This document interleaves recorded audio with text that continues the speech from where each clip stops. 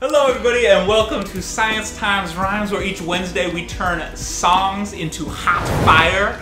I'm back from VidCon, which means I get to hang out with Jane Reynolds, who I last saw at a puberty-themed concert. I guess that's sort of science related too. It very much is, and it's Inside Out related, which was our theme two weeks ago. Temperamental like adolescent development. Cooperation and competition are at the heart of the most interesting themes in human existence. An article in this week's New York Times called Cellular Cheaters Give Rise to Cancer explores their role in biology.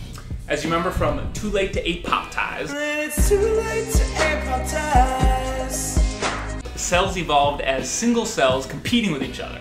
And the transition to multicellular organisms, which happened several times in evolutionary history, meant that cells could cooperate and specialize as long as a small group got to pass their genes on to the next generation. But there's always a lurking threat that a cell will mutate and revert to its reproductive, hungry ways.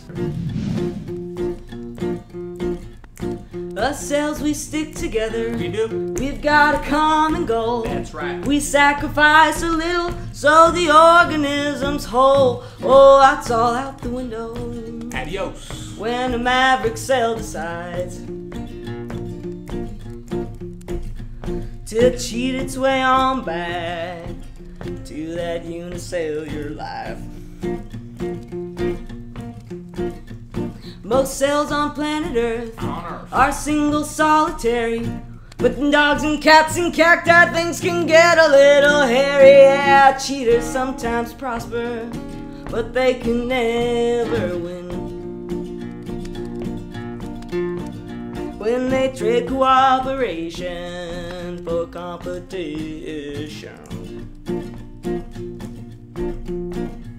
It's not just in us humans. Nope. It's not just in lab mice. It's in hydras and in coral. It's in plants and in fungi. Oh, we've got a lot of questions, but we're slowly finding answers. Cause these cheaters are the key to understanding cancer. Up top, Jane. In the article, George Johnson writes No wonder cancer has become a metaphor for human excess. Overpopulation and consumption, environmental pollution, the concentration of resources among a hyper acquisitive 1%. I love biological metaphors, and this is one that always comes up, so I would love to hear what you guys think of that particular metaphor and how it holds up. For last week's Finish the Rhyme, I'm giving a chicken, a volcano, and a shooting star type of thing to chase for Lythronax argestes is the king of gore. He hung with all his besties. Hey, what's that? Ah, a meteor! Double rhyme points, bravo. This week on Finish the Rhyme, it's the tragedy of the commons on a microscopic scale.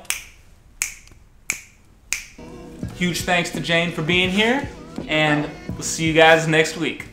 In comes the science of emotion. Surprise, they organize our rational thinking. Cell cycle breaks, but I can't respond. No